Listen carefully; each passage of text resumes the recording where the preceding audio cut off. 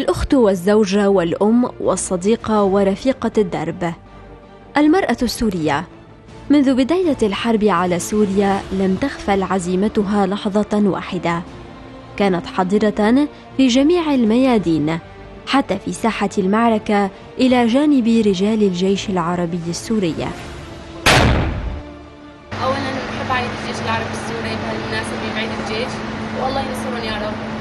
ثانيا بحب أكد على دور المرأة كثير لأنه نحن وقفنا صف جنب لجنب مع الجيش والقيادات العليا وأخذنا دورنا بكامله يعني كأم كزوجي كممرضة ونحن إيد بإيد مع الجيش إن شاء الله.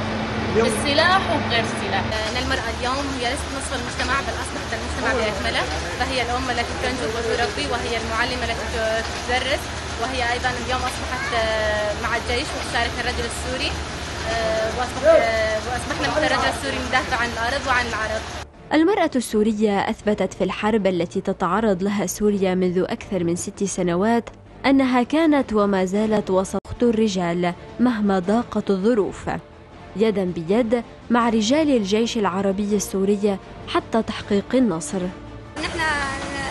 ساندنا الجيش العربي السوري. نحن معه في البيت وفي الميدان. لا نرضى لا نكون جزء من نصر الجيش العربي السوري. وكل عام وأنتم بخير للجيش العربي إحنا عم نشارك مع الجيش ورح نشارك معه دائما في كل مراحله وكل محا...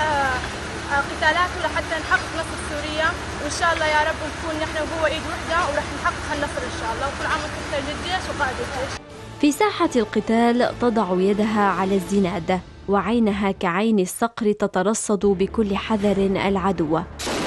وتضرب نيرانها لا ترحم فكيف لا؟ وهي الأم التي تحمي أولادها من أي خطر. المرأة السورية تلتحق بصفوف الجيش العربي السوري وهي تعلم أن في هذه الحرب لا خيار أمامها إلا القتال حتى الشهادة.